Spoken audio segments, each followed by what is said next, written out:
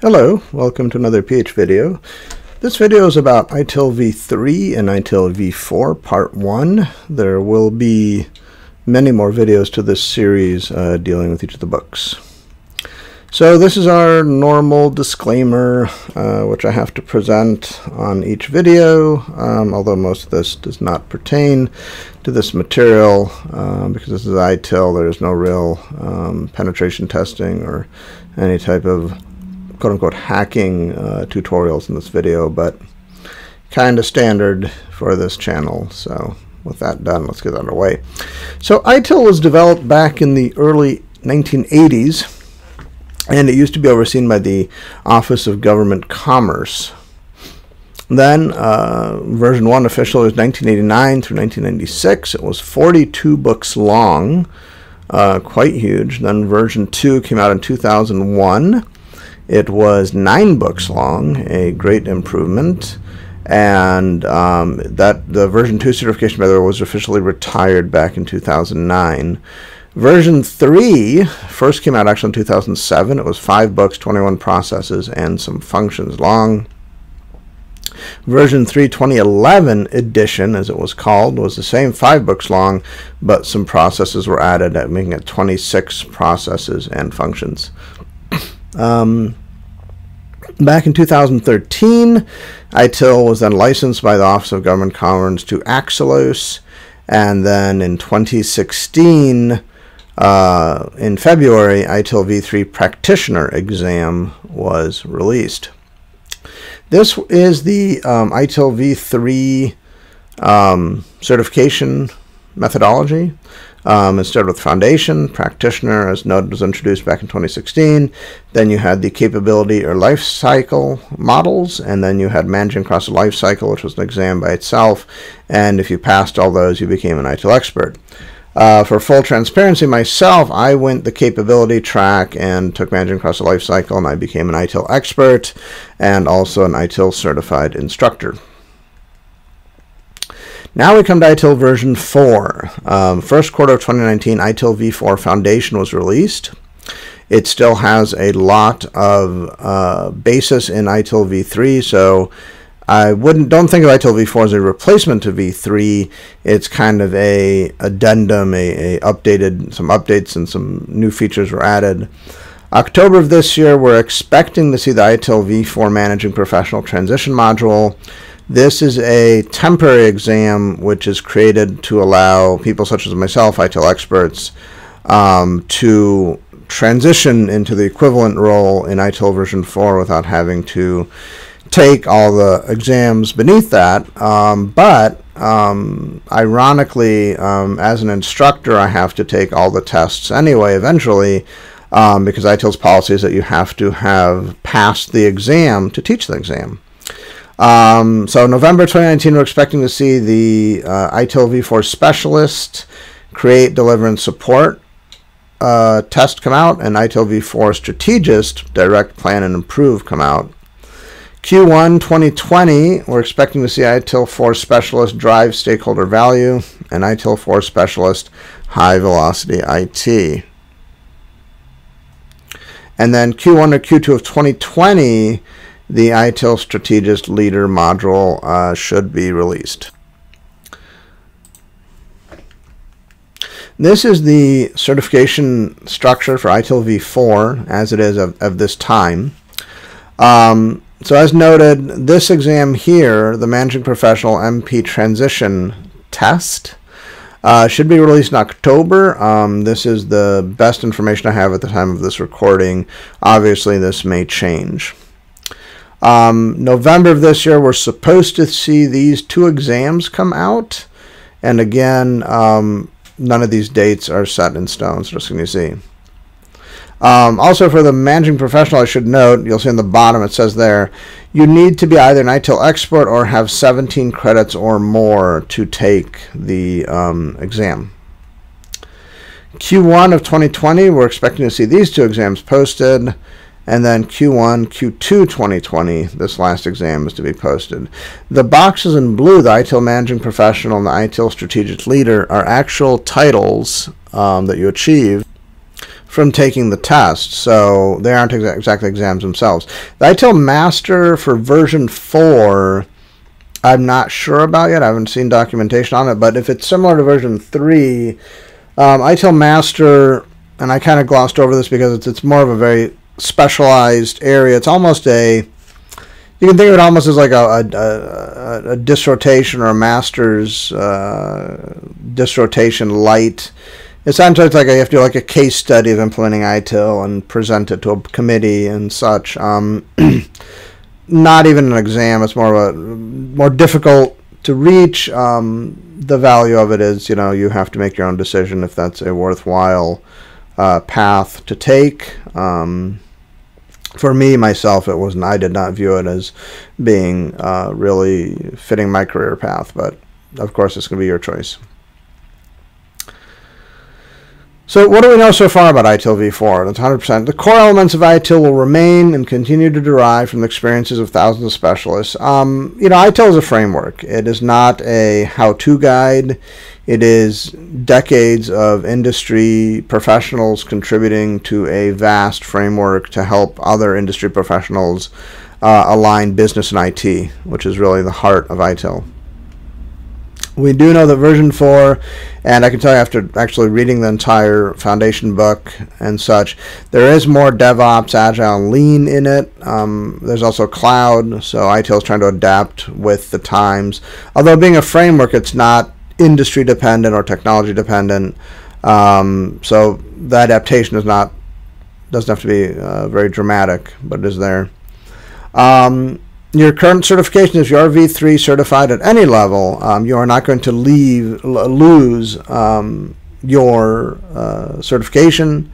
It still contains tremendous value, and I don't want anyone out there watching this video think, "Oh my God, I just passed V3 Foundation. I feel like I wasted money." I, absolutely not.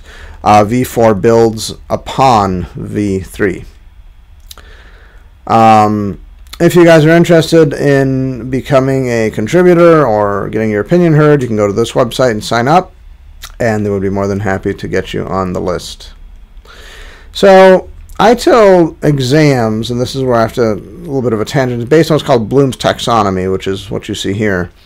Um, the higher up you go on the pyramid, the harder the exam questions are, um, which is very, which I'll note in a second. So it really depends on what you the test you're taking. So, for example, foundation exams are remembering understanding. This is a very classical type test. Um, it's been a while since I've taken foundation, but it's multiple choice A, B, C, D. You have a simple question, you have four answers to choose from. Very, very simple. One answer is correct, three answers are wrong. Um, it's, it's a very binary exam. Either you got the question right or wrong, and you move onward. Practitioner is kind of in the middle between intermediate and the advanced tests. Um, practitioner was it is a scenario based test, so it's much different from foundation. Uh, fewer questions, but there's a scenario, like an overarching uh, scenario that covers the whole exam. The answers are also short paragraph, few sentences, three sentence, four sentence, which pertain to the scenario. So essentially, you read the scenario, then you get the question, which is going to uh, give you more information pertaining to the base scenario. Then there will be answers. The difference with practitioner is again, one answer is correct, three answers are wrong, but what defines wrong and right is much more uh, subtle. So you're not going to read three answers that are absolutely way off and one that is correct. You're going to read four answers. One of them is correct, and three of them yeah, might have been correct. So a lot more difficult. Now, once you're enter intermediate, at least this was in version 3 again, the intermediate exams for version 4 aren't out yet, but I'm guessing they're going to keep the same methodology. These are much more difficult. Um, you're going to encounter, again, I'm referencing V3, uh, five questions. That's it. Um, each question has its own long scenario, usually about a page to half a page long scenario situation. And then the answers are full paragraph answers. So you will encounter five. Um, you know, four. I'm sorry, I apologize. Four answers. I had to check myself there. Uh, four answers. Um, now, what makes these tests difficult and why you see in the industry many ITIL Foundation people, but as you get higher, higher and up the pyramid, the, the numbers drop quite dramatically, is because the they really do use Bloom's taxonomy in the exam for intermediate, which means that one of the answers, one of the four answers, is worth five points. One is worth three points, one is worth one point, and one is worth zero points. And the differences between the five and the zero is very subtle. Um, some of the answers, when I took the test, you're literally splitting hairs. I mean, it was you could you could have read all four answers and thought all of them had they were first of all all the answers you're going to see are based in the ITIL framework. They're not going to give you answers which are are COBIT or Lean or or any other framework. So they're all based on the ITIL framework. They're all correct, but only one of them is the most correct answer to the scenario you read. So for intermediate, I cannot overemphasize, and I will post videos that I ITIL v4 intermediate as they become available. I cannot overemphasize you must for, for foundation, which I'm going to start to give you some pointers in this video, and the other videos will go into more detail. Um, vocabulary is like king. You have to learn the vocabulary. ITIL vocabulary is is very very important. ITIL is based on a vocabulary which they defined, and if you want to pass a test, you need to memorize their vocabulary, not not COBIT's, not CSSP, not ISACA, not anyone else's vocabulary, their vocabulary. An incident is defined, for example, an incident in is defined as an, unexpe- an unexpected interruption of service. That's a different definition than other frameworks are going to give you, but for the exam, that's the definition you must memorize and use. Um, in the intermediate tests, understanding not just vocabulary, but the methodology and the concepts is very critical. Um, and they do go into a lot of detail. Um, as the tests become published, I will create videos where I go over the syllabus of the tests and the and the syllabus. One thing ITIL does, which I give them immense credit for, is they're going to cite the exact chapter and unit within the books that will be on the exam. When they do this, they're not kidding. I've had tests where they will pull out very complex graphics and concepts from the book and put it in the test. And you need to understand it really, really well. The expert exam, called Managing Across the Life Cycle, is by many considered the hardest exam. It's the same format as intermediate, but they take it the next level of difficult. Um, expert has the highest level of failures because it is a difficult test. Um, the bridge exam to bridge between expert for V3 and V4, I'm quite sure is going to be an extremely difficult test. Um, and I will definitely post a video just about it as soon as it's published, as soon as I get my hands on more material about it. ITIL Masters, I noted, is kind of above the top of the pyramid because here we're talking about more of a, a uh, analysis case study type paper you're doing. So why should you care about ITIL? And this is a question I've been asked often um, as a contractor, as a teacher. And um, with this, I like to reference who uses ITIL, who, who in the industry uses it. Oracle, Nike, Microsoft, Intel, Hewlett Packard, Dell, Sony, Boeing, SAP, IBM, Disney. I mean, lots and lots of different organizations use ITIL. Toyota. ITIL, uh, guys, is a proven industry framework, which really works. Here we have some case studies. I'm not really going to go over all of them in detail, but this slide is more of a if you're in a position where you need to sell ITIL to your organization, you want your uh, department to get ITIL Foundation certified, you need the funding um, to justify the classes to send your, your employees to to get foundation. Here's a little snapshot. You can pull these statistics up and, and give to your manager to get approval for the funding. Now let's actually look at the ITIL books. This is version 3. Um, ITIL service strategy was 480 is 483 pages long. Service design comes in at 442. Service transition 347. Service operation 370 pages. Continual service improvement comes in at 246, and practitioner, it's kind of like the odd ducks, 166. So you'll notice the page count actually goes down um, as we go further through. So ITIL version 3 officially was 2,055 pages long. Um, in all honesty, if you're doing ITIL, if you really want to get involved in it, I do recommend you purchase the books. Um, even if you just do foundation, I would purchase all the books and read them cover to cover. They are great reference books. Um, they're very good books to read, and uh, I, would recommend. It. I think it really helps. For ITIL version four, we have one book, which is ITIL Foundation, coming in at 212 pages. Um, other books again should be forthcoming. Now, Service Strategy, which is the first book, is um, kind of the, the, the starting point, as you can imagine. It's to design, develop, implement your service manage your, your strategy, and, and, service strategy really does apply to like the the word implies. We're looking at the big picture, the overall large area. The processes you'll you'll be introduced to here are strategy management for IT services, service portfolio management, financial management for IT services, demand management, and business relationship management. Now, in other videos, um, I will go over each of these books and each of these processes in more detail, but for now, just so you know, these are the five processes in service strategy. Now, after you've established service strategy, you go into service design. This is the development of the services and processes, um, design principles. We're covering how do we achieve these strategic objectives which we have set out, set out in the first book. Here we're going to see processes such as design coordination, service catalog management, service level management, availability management, capacity management, IT service continuity management, information security management, and supplier management. And these are the processes for service design. You should memorize, just as heads up guys, these actual processes, just their names, so you know which process applies to which book. That will probably is usually in the exams.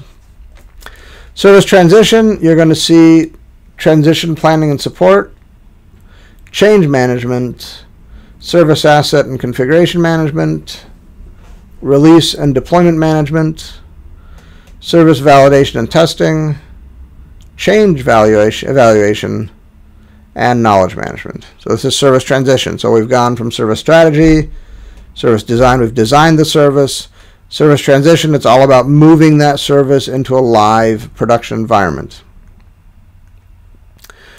Service operation, we've now designed, we've implemented, we've transitioned it. Now we're talking about the day-to-day running of that service, keeping it running well. We're looking at event management. Incident management, again, as defined by ITIL, an unexpected interruption to service.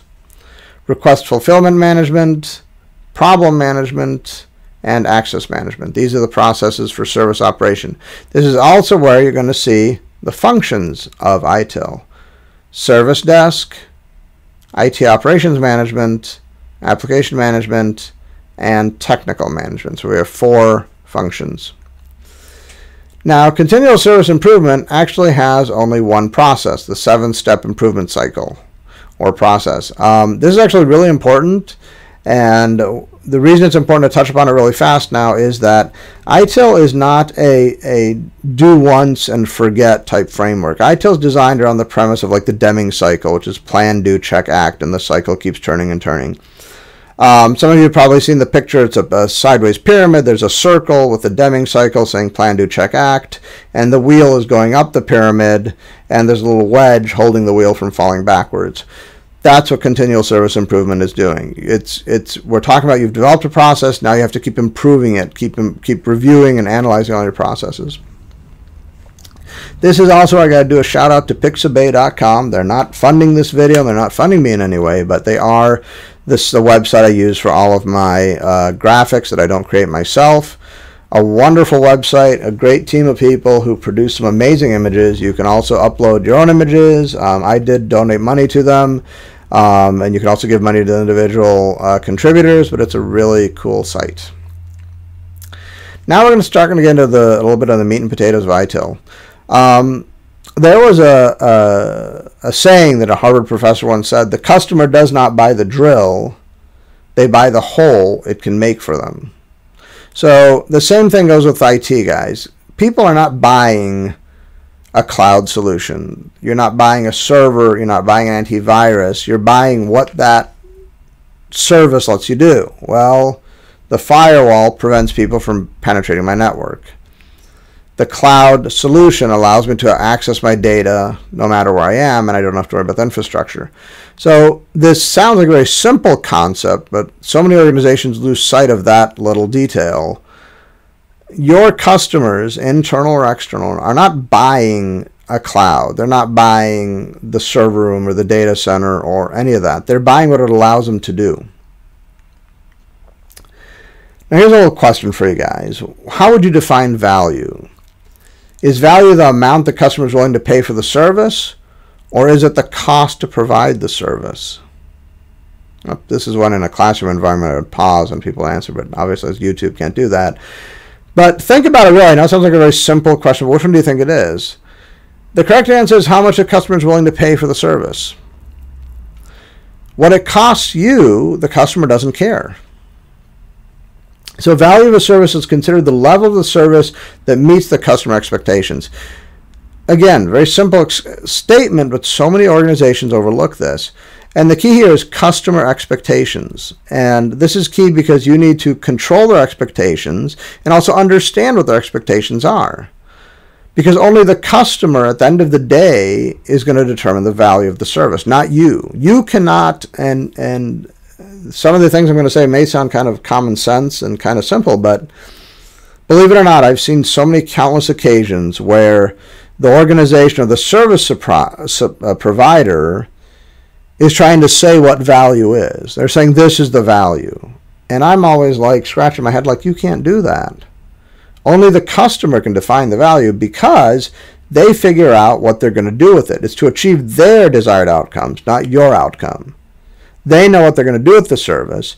You need to understand what the customers want and need and then provide them that service. Absolutely. But you cannot, at the end of the day, tell them if they've earned value or not.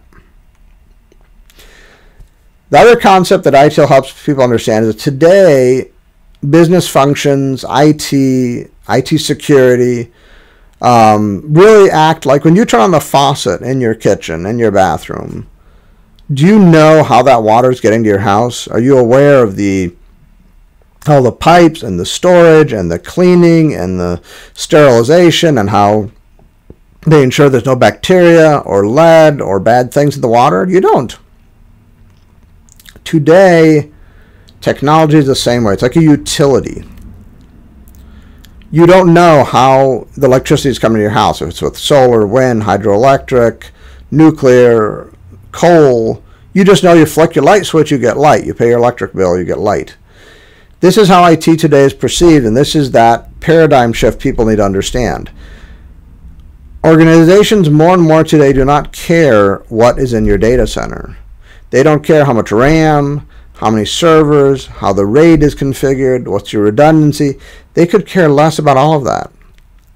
They just want to make sure they can access their data, their data can be secure, and that's all they care about. They don't care what your security is. They don't care what kind of firewall you have.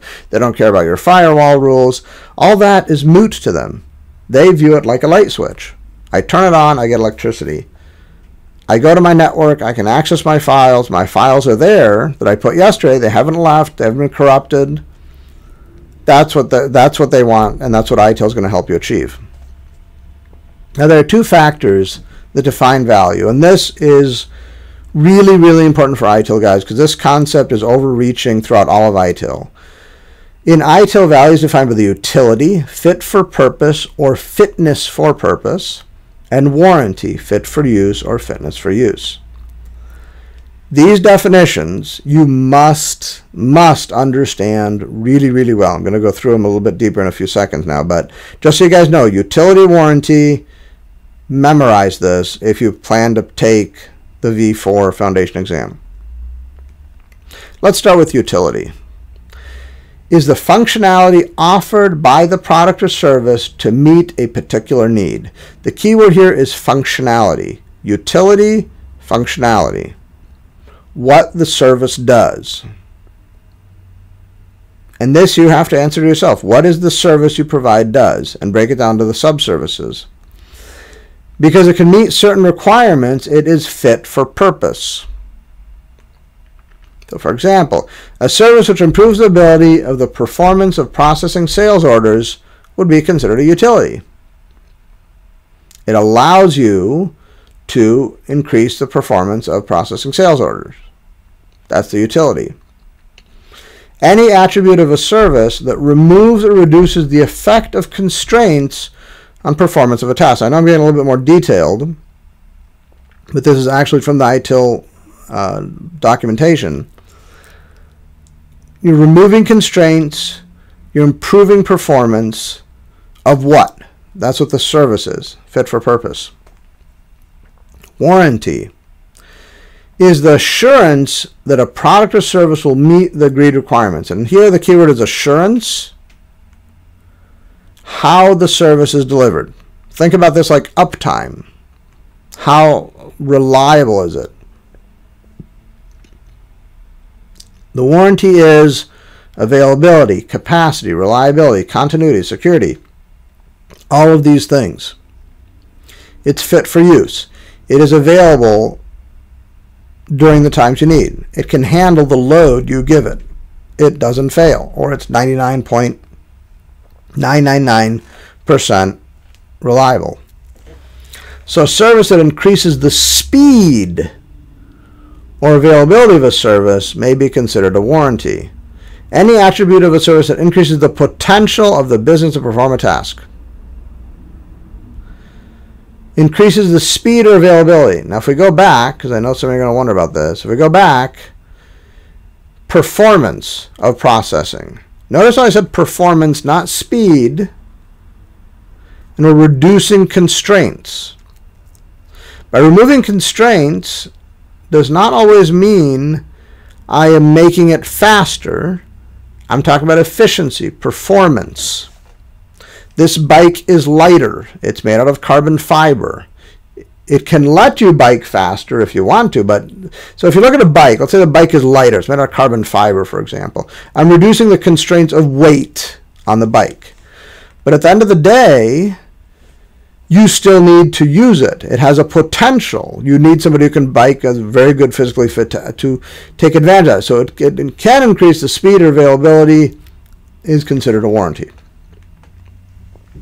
So warranty refers to any means by which utility is made available to users. Now, you can rewind this as many times as you need, guys, but again, utility and warranty, 100% guarantee this is on this is on the foundation exam. You're going to see this type of question because this is a principle which is really part of the heart of ITIL. Utility is what the service does. Warranty is how it is delivered.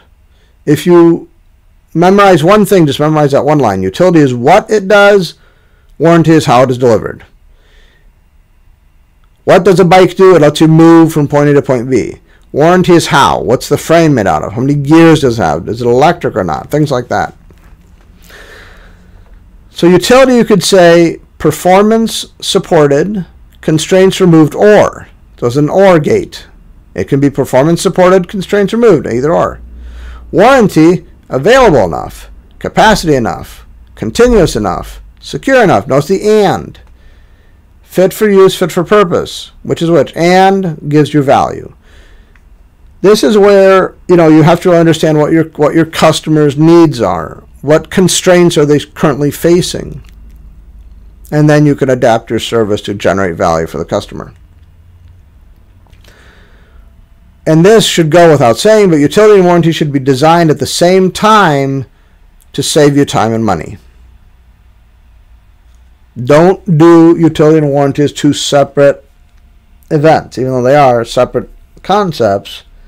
They should be designed as much as possible simultaneously. So now let's talk about the most basic concept.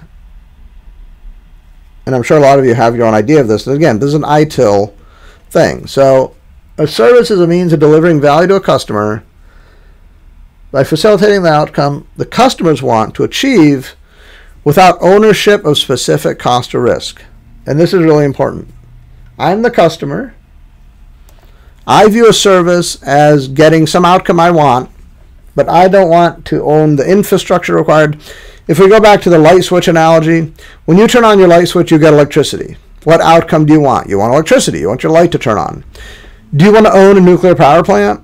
No. Do you want to own a hydroelectric power plant? No. Wind turbine? No. You don't want the risks that come with that specific what is needed in the back end of that service. That's what you have to understand. You have to understand what outcomes your customer wants, and then you can figure out if your service meets what they want. Customer satisfaction is crucial.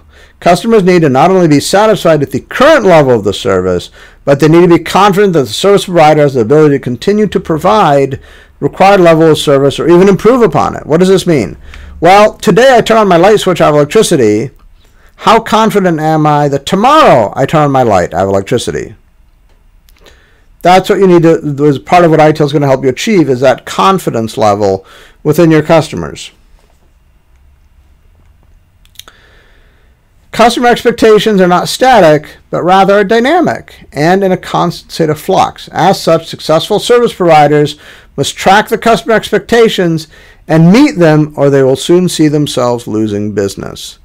This is the classic downfall of countless organizations in the past. AOL. give you a great example. Many, many years ago, some of you might remember a company called Blockbuster, Blockbuster Video. They were a video rental store. They offered, they started with VHS, then they went to DVD. Something some of you might not know is that the founders of Netflix actually, actually approached Blockbuster. They said, hey, we got a model, we want to mail people DVDs. And the management and CEOs of Blockbuster laughed at the Netflix people and they said, that is a crazy idea. Nobody will want that. Go away. Well, they went off and, and created Netflix, and you can see today where Blockbuster is or Netflix is. The mistake Blockbuster made was they didn't realize that customer expectations were changing. Customers didn't want to drive to the Blockbuster store and look for a movie that may or may not be in stock. They liked the idea that they can just have the DVDs mailed to them. And today, Netflix, obviously, we're now in streaming video. So again, customer expectations have adapted again. No longer do a lot of people want to, now there's still Redbox and things like that, absolutely. But a majority of customers now like the streaming video. And this also, you can see, lines up with your internet connection. People want now faster internet. Fiber internet connections, which were once in the realm of research and development only, are now coming into the residential realm. People's expectations are rising. And I guarantee you that fiber, now we're talking gigabit in, in ether, internet through fiber to houses. Probably years from now, it'll be 10 gigabit and 1,000 gigabit. And it'll just keep going up and up as the expectations rise. Well, I want augmented reality capabilities. Well, I want to be able to stream 20 different movies to 20 different screens simultaneously without any lag. Well, I want to power my 8 8K TVs or 16K TVs or 32K, whatever we might have. People's expectations keep rising, and it's not static. When you go buy a car today, you expect to see airbags, adaptive cruise control, lane change assist. You expect to see all these features. So we expect things are constantly changing. This is where ITIL is going to help you understand where your customer expectations are now, where your customer expectations are going to be in 10 years, in 20 years, in 30 years, so you can keep adapting and moving. Service strategy is helpful in, in understanding how this happens and to adapt your service. Now, keep in mind, ITIL is all about constant change. This is the paradigm we live in today. New cell phones come out every year. Things are constantly evolving and changing. Now let's talk about the types of services as ITIL sees them. The first is called your core services. These are your basic outcomes. Internet. You have internet access. That's a core service. Okay, we offer whatever, 5 megabit base internet. That's our core service. Enabling services are those services that are in the back end that you don't see the routers, the switches, the tier one routers and switches, what, what, what's in the very base that you don't see. Enhancing services might be, well, we're going to throw in HBO with your internet, or you get a free month of this or that, or you can have faster internet. These are your enhancing services. A service package is when we take a bunch of core services and enhancing services and we put them all together into a package. Best example is your internet provider. They usually also sell you, hey, we give you internet, we'll give you cable TV, and we give you telephone. we give you voice over IP. This is our package. You can buy all these services together. So two or more services combined offer specific solution to a specific type of customer or underpin specific business outcome. Well, most people need residential phone, and they need TV, and they need internet. Let's package them all together. It just makes sense. You can have different service packages. Now, this is where it gets a little bit more complicated, but customer A might want a utility and warranty of level 1. Customer B might want a utility and warranty level 3. And you can decide what defines that. Do all customers need 99.9999, you know, 10 nines after the decimal point uptime of their access to their data? Maybe not. Maybe yes, maybe no. But you would create different service packages for different customers. Now in ITIL, there are two types of customers. The internal customer, they work for the organization. I know this sounds a little bit confusing, but internal customers are essentially the internal IT departments support departments. Who do they support within the organization? That's their internal customers. External customers are not employed by the organization, separate legal entities. Now, the key here is that ITIL emphasizes you should not be treating internal customers one way and external customers another way. You should be treating your internal customers as nice as you treat your external customers. So don't be rude to your internal and really nice to your external, and vice versa, obviously.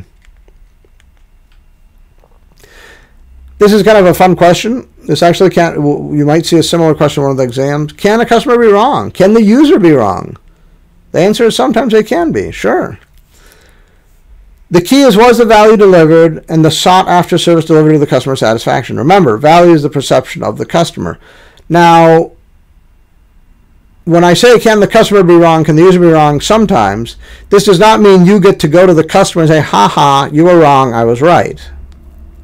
That's not the point of this. The point is that maybe they didn't convey to you correctly what service and what value they really needed they were incorrect, but this isn't a case of, well, this is what you, you, you never want to go to your internal or external customer and say, well, hey, this is exactly what you wanted, I gave it to you. That's not the point of ITIL. The point is understand what the customer's perception of value is, and even if they tell you something and you deliver exactly what they asked for, word for word, perfectly, but they're not happy, your job is to fix it. There is no benefit derive from saying, oh, this is exactly what you wanted, and that's what I gave you. Now I'm leaving. No. Value is derived by you saying, oh, okay, obviously misunderstood. Please tell me what you really need, and I will fix it. Some notes. You can lose a customer, okay, guys, if they don't pay for a service. And always, anytime, I do not care who you work for, um, what your role is in the organization, what level you're at.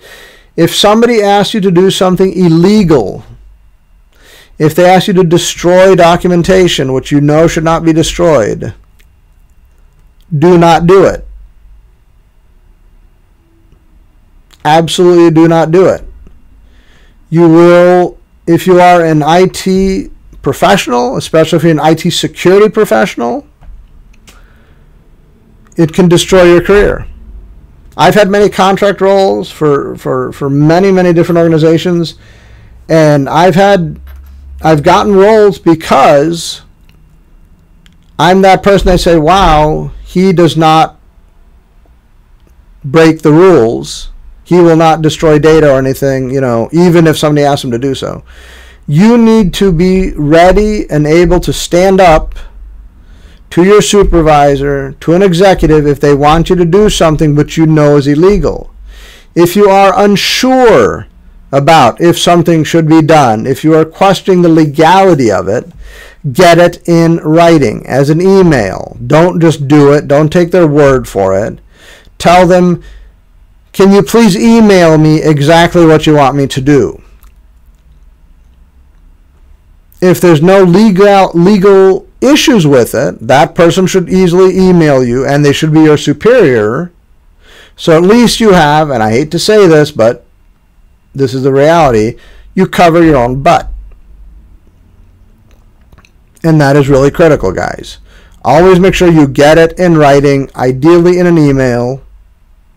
Use delivery confirmation, things like that. So just be careful. Don't don't be that person who gets held responsible for someone else's bad actions.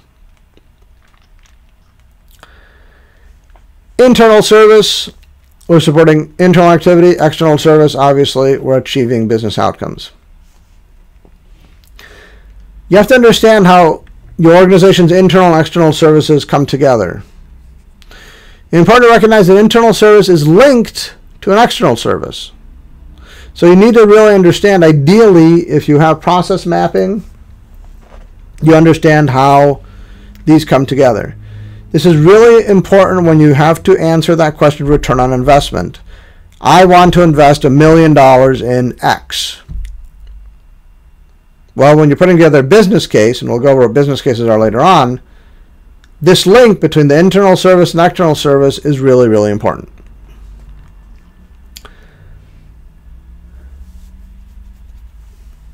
Let's look at a little bit more detail. Step one, you want to define the outcomes. I know this sounds like putting the, the carriage in front of the horse, but this is really important. You want to define your outcomes. Then you want to figure out which IT services support that outcome we want.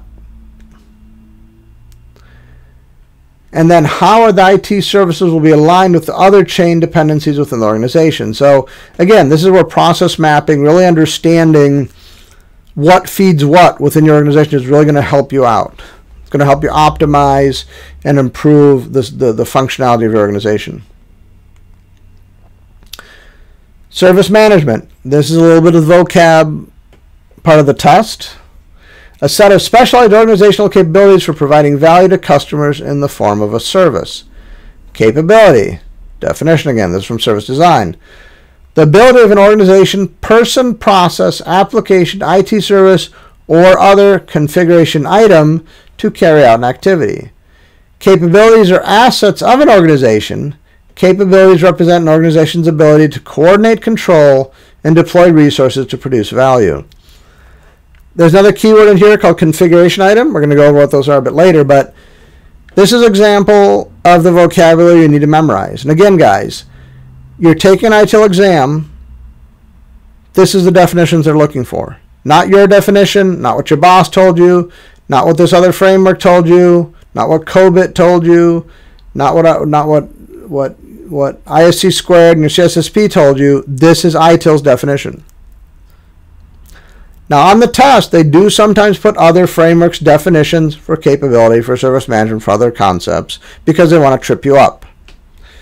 The other reason ITIL is so rigid on its vocabulary is because if you're talking to a fellow ITIL certified professional, you both know you're going to be on the same page as you're discussing that vocabulary. And that is really, really important.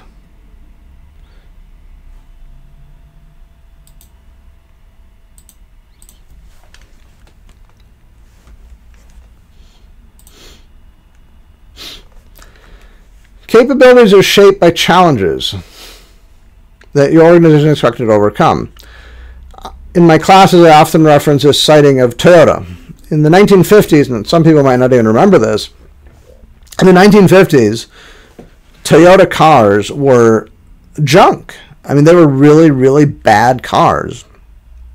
Toyota was viewed as like this junky, cheap, Japanese trash can on wheels. Well, back then, Toyota quickly realized that they didn't have the money, they didn't have the resources, they didn't even have the capabilities that the big automakers like GM, Ford, Chrysler had. They had developed their capabilities. Today, Toyota makes some of the best cars on the road today. Lexus is a division of Toyota. So they were challenged and they improve their capabilities to overcome those challenges. That's what ITIL is going to help you do. Um, there will be separate videos later on about something called Kaizen Kanban, which is a great methodology to help, and it aligns very well with ITIL. But that's for a separate video, but you can look that up if you're interested. So, IT, you have to understand, is a collection of systems. An organization has its own set of capabilities and resources.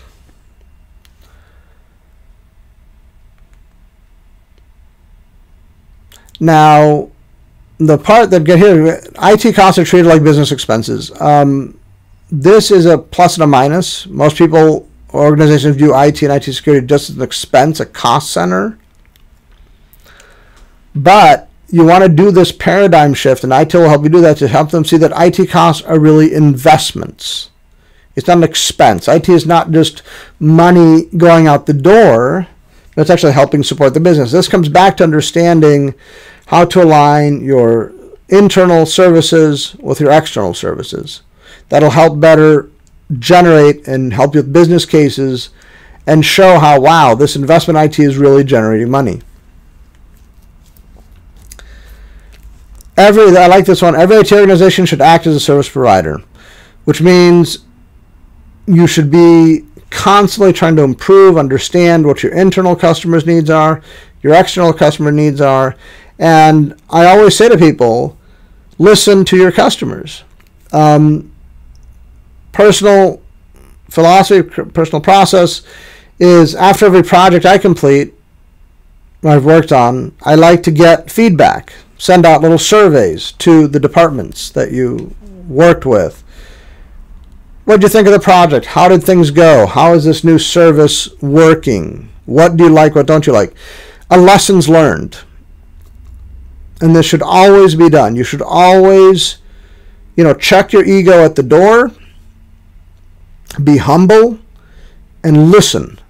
And I cannot overemphasize this. I've seen so many IT professionals fall flat on their face because they don't listen.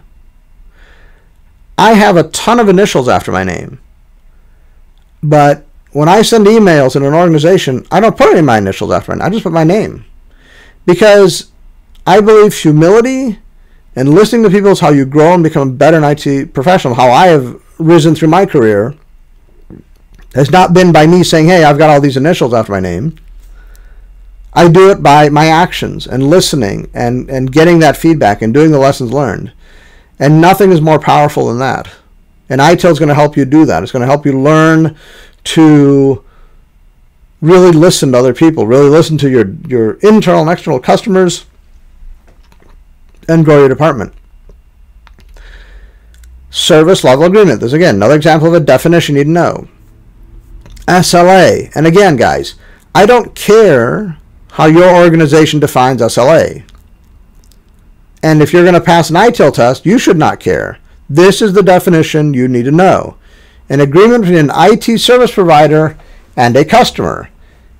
An SLA describes the IT service document service legal targets, level, sorry, level targets, service level targets, and specifies the responsibilities of the IT service provider and the customer. A single agreement may cover multiple IT services or multiple customers. OLA, organizational level agreement. We'll talk about that in a sec. So, SLA, it's an agreement. It describes the level of service targets and the responsibilities. OLA, Operational Level Agreement. An agreement between an IT service provider and another part of the same organization. Many organizations I've seen take SLA, this one here, and they apply to their internal customers. According to ITIL, this is incorrect. Okay, once again, I don't care what your organization does. This is what ITIL does. You want to pass a test, you memorize these definitions. An agreement between IT service provider and another part of the same organization. It supports the IT service provider's delivery of IT services to customers and defines the goods and services to be provided and the responsibilities of both parties. For example, there could be an OLA between the IT service provider and a procurement department to obtain hardware in the agreed amount time, between the service desk and the support group to provide internal resolution agreed times. So, operational level agreements are the supporting services inside the organization. SLAs between you and an external customer. These are the definitions you have to memorize, guys. What is a process according to ITIL? A structured set of activities designed to accomplish a specific objective. A process takes one or more defined inputs and turns them into defined outputs. This is really important, guys. It's defined outputs and defined inputs. It may include any of the roles, responsibilities, tools, and management controls required to reliably deliver the outputs. A process may define policies, standards, guidelines, activities, and work instructions as needed. What is a function? A team, a group of people and tools and other resources that are used to carry out one or more processes or activities. Service desk is a function according to ITIL. Now, function in ITIL has two other meanings, making it a little bit more complicated. A intended purpose for a CI, configuration item, person, team, process, or IT service. For example, one function of an email service may be to store and forward outgoing emails, while the function of a business process may be to dispatch goods to customers. To perform the intended purpose correctly, as in the computer is functioning correctly. So a function could be people carrying out a process. Function continued, a group, number of people, a team, more formal type of group, department and division. These are just a little bit of, of vocabulary. Again, for the exam, guys, you have to memorize these definitions. There is ITIL, especially when you get into the intermediate exams, there is zero gray area when it comes to these definitions. Um, they are really, really strict on this stuff. And here are the four functions within ITIL. Service desk. Single point of contact, and this is really important, guys. Um, we're going to talk about the different types of service desks, like follow the sun and stuff like that.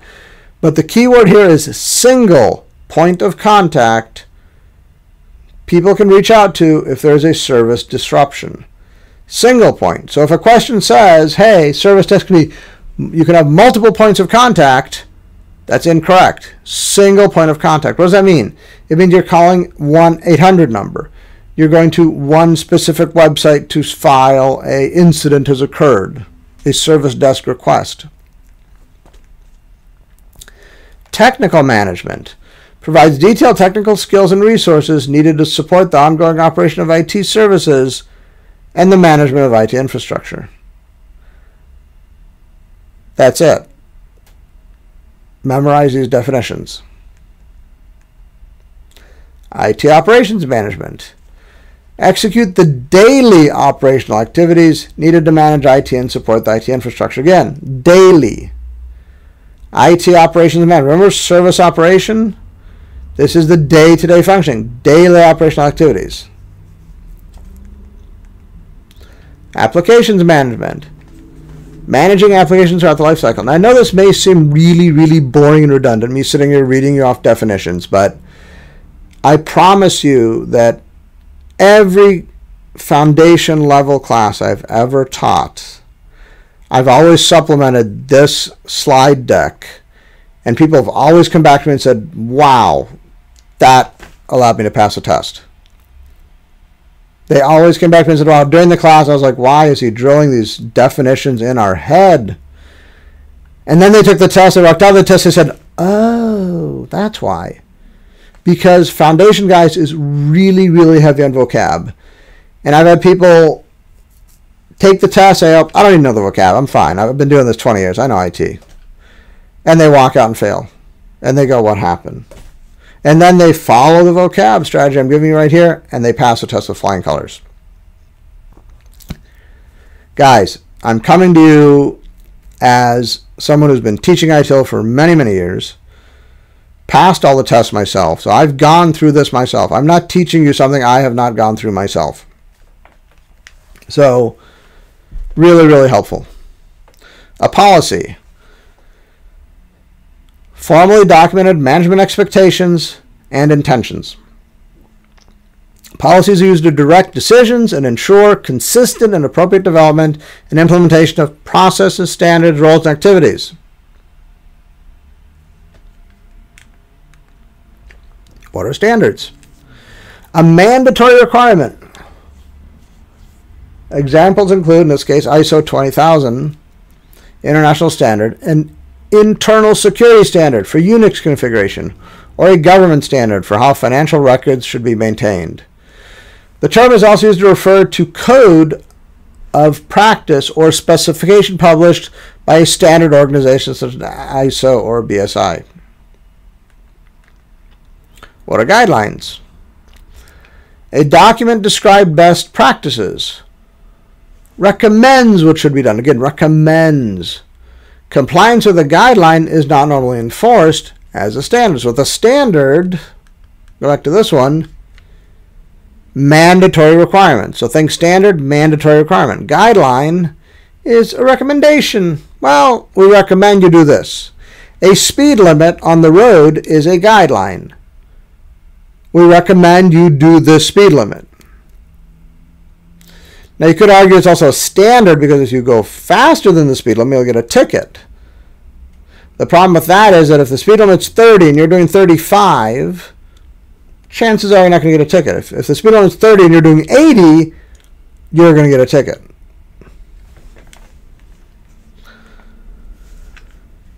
Roles, a set of responsibilities, activities, and authorities assigned to a person or team.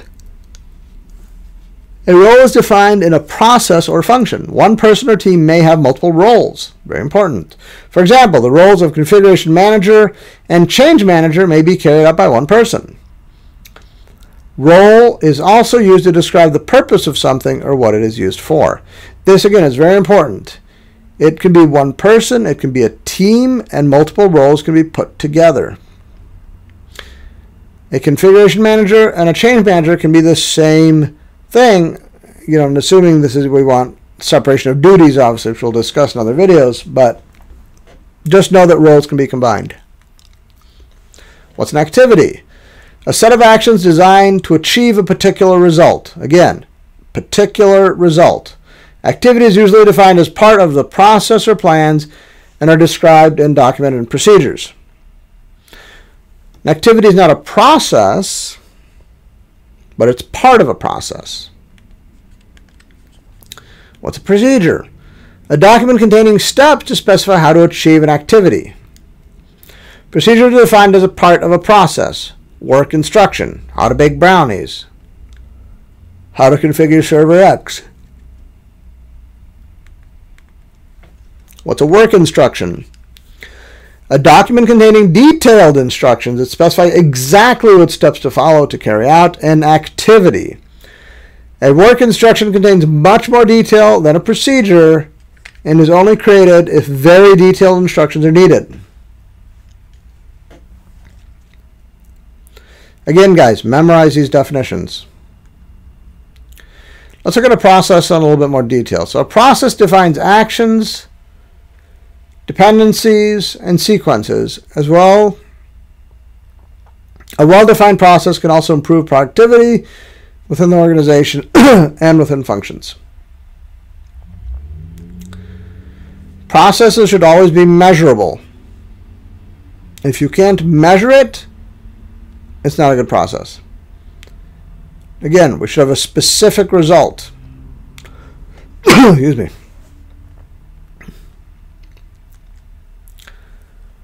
Who is the process for? Who are the customers? Who are the stakeholders? And what triggered the process to start? And, it, and this is really important at the bottom here traceable to a specific trigger event. All processes must have a specific trigger event. If you have processes in your organization that do not meet all four criteria noted here, I would highly recommend you revisit that process and find out why or how you can fix that. So here's kind of a graphic of a process. We have activities, procedures, metrics, work instructions, roles, and improvements. Something triggered the process, and then the process takes in inputs. The process then has a specific output. The output, though, gives us feedback, documentation, reports, and reviews. This is where our policy comes into play. And the process is fed by resources and capabilities keep the process running.